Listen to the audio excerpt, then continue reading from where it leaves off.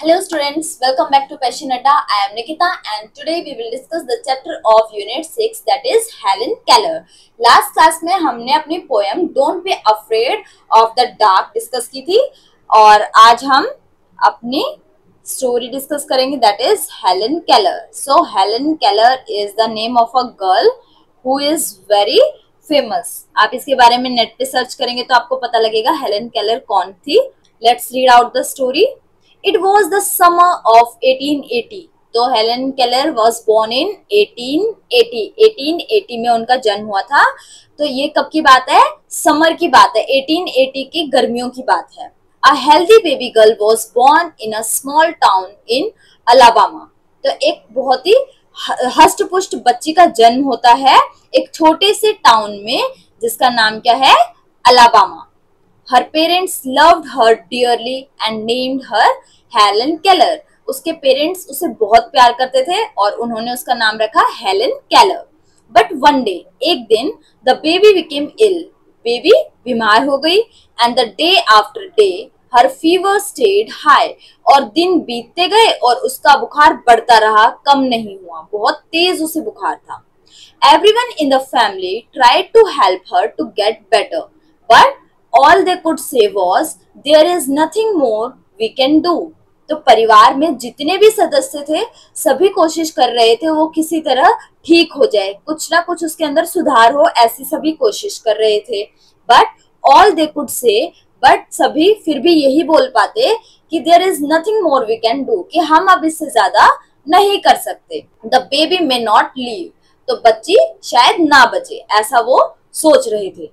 Helen live लेकिन Helen बची, ज़िंदा रही।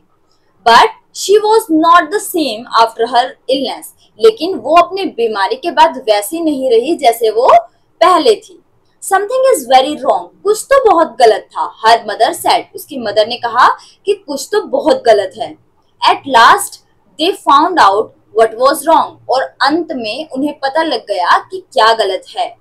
The child could not see और हियर कि बच्ची ना तो देख सकती और ना सुन सकती। जो बच्चा देख ही नहीं सकता, सुन नहीं सकता, वो बोल भी नहीं सकता, है ना? तो उसमें क्या प्रॉब्लम हुई? बुखार आने के कारण उसके सुनने की और देखने की शक्ति चली गई। तो अब वो देख भी नहीं सकती और सुन भी नहीं सकती। The baby grew into a little girl अब धीरे धीरे बेबी बढ़ने लगी और एक लड़की में मतलब थोड़ी सी बड़ी हो गई। Her parents felt sorry for her और उसके पेरेंट्स उसके लिए काफ़ी दुख महसूस करते कि कैसे हमारी बच्ची मतलब बीमार हो गई। Helen often cried and held on her mother Helen अक्सर ऑफन का मतलब होता है अक्सर, कि हेलन अक्सर रोती रहती और अपने मम्मी से चिपकी रहती, क्योंकि जब बच्चे को कोई दिक्कत होती है, वो अब किसके पास जाता है? अपने मदर के पास सेफेस्ट फील करता है तो वो भी अपनी मदर से चिपकी रहती। Give the poor child what she wants her father would say तो उसके पिता बोलते कि जो भी इस बच्चे को चाहिए, इसे दे दो। कि ये पहले ही इतने दुख तकलीफ़ में आए इसको जो भी चाहिए, वो इसे प्रोवाइड करवा दो। दो हेलन कुड नॉट हियर और see she was a bright little girl हालाँकि, दो का मतलब क्या होता है? हालाँकि हेलन कुड नॉट हियर और सी। ना तो हेलन सुन सकती और ना ही हेलेन देख सकती। लेकिन फिर भी she was a bright little girl कि वो बहुत ही ब्राइट थी, यानी कि उसमें काफ़ी कुछ पोटेंशियल था करने के लिए। Some people thought Helen could never not learn anything कुछ लोग सोचते थे कि हेलन कभी भी कुछ नहीं सीख सकती। Her mother did not agree लेकिन उसकी मदर एग्री नहीं करती। उसकी मदर कहते कि, नहीं भाई, मेरी बच्ची क्यों नहीं सीख सकती? सीख सकती है? Helen is very smart she said and added तो हेलन की मदर कहती हैं कि वो बहुत ही स्मार्ट बच्ची है। हेलन एक स्मार्ट बच्ची है और एडिड मतलब कि इसके साथ साथ और क्या बोल उसकी मदर ने बोला the problem is how can we reach her वो प्रॉब्लम ये नहीं है कि हेलन स्मार्ट नहीं है। हेलन काफ़ी स्मार्ट है, लेकिन हमें ये नहीं पता कि हम उस तक पहुँचे कैसे। देखो, जिस बच्चे में कोई प्रॉब्लम है तो हमें अपना तरीका चेंज करना पड़ेगा उसके, उस तक पहुँचने के लिए, है ना? तो ये नहीं समझ में आ रहा था उसके पेरेंट्स को कि हम उसकी प्रॉब्लम को सॉल्व कैसे करें। उसे बेटर अपॉर्चुनिटी कैसे दें?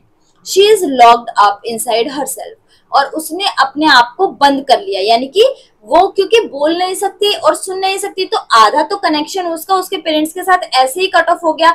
जो बच्चा बोल नहीं सकता तो हमें पता नहीं लगेगा कि वो एक्चुअली में क्या फील कर रहा है या क्या बताना चाहता है ना?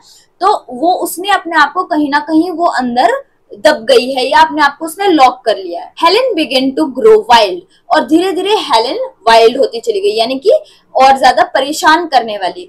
क्योंकि देखो, जो बच्चा अपने आप को एक्सप्रेस नहीं कर पाएगा तो उसके अंदर ही अंदर गुस्सा बिल्टअप हो जाएगा। उसे समझ में नहीं आएगा कि मैं कैसे बिहेव करूँ या कैसे किसी को अपनी बात समझाऊं तो इसीलिए वो थोड़ी चिड़चिड़ी हो गई।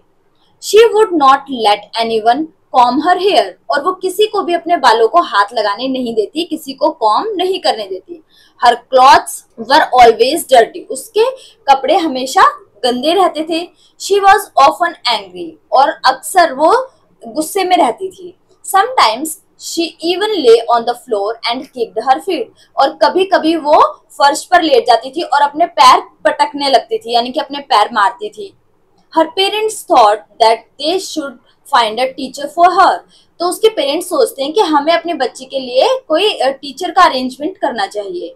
Miss Sullivan a young teacher agree to help Helen to learn to see the world तो मिस सुलिवन एक यंग टीचर थी जो कि हाँ भर लेती है एग्री करती है कि वो हेलन को हेल्प करेगी सीखने में कि दुनिया को कैसे देखना है। Miss Sullivan gave Helen a doll तो सोलिवन क्या करती हैं? एक डॉल उसको देती हैं. D O L L spells doll तो उसको स्पेलिंग बताती हैं कि डॉल की स्पेलिंग क्या होती है? डी ओ एल एल क्योंकि हेलन देख भी नहीं सकती थी और सुन भी नहीं सकती थी तो उसे क्या करवाना पड़ेगा? टच करवाना पड़ेगा या फील करवाना पड़ेगा, है ना? तो she spelled the word with her fingers into Helen's hand तो जैसे हम ऐसे कुछ हाथ पे बनाते हैं ना तो ऐसे ही हेलन के हैंड पे वो D O L L doll लिखती है, ठीक है?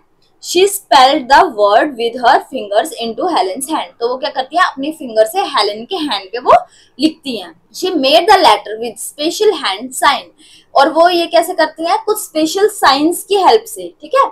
उसके हाथ पे वो लिखती हैं। तो Helen copied her teacher and spelled doll too but she did not understand what was she doing तो हेलेन भी क्या करती है? कॉपी करती है अपने टीचर को और उनके हाथ पे क्या लिखती है? D O double L doll की स्पेलिंग फिर से लिख देती है। लेकिन वो समझ नहीं पाती कि ये क्या हो रहा है, ये क्यों कर, किया जा रहा है ऐसे। Helen like Miss Sullivan Helen अपनी टीचर मिस सुलिवन को पसंद करती।